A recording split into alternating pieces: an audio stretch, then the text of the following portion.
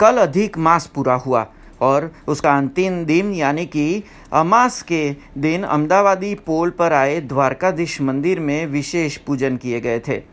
राज्य कक्षा के मंत्री योगेश पटेल की उपस्थिति में भगवान के हिंडोला दर्शन रखे गए।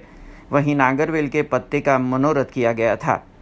आपको बता दें, बीते कई सालों से अमास के दिन द्वारकाधीश मंदिर में ऐसे मनोरथ किए जाते हैं।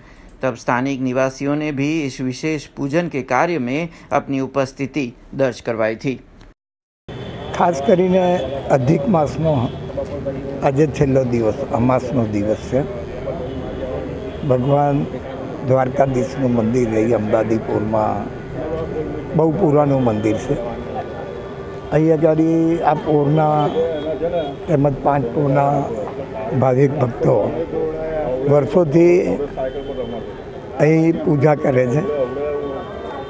ભગવાનને દ્વારકાધીશને ઝુલાવાનો મનોરથ આજે નાગરવેલના પાનમાંથી.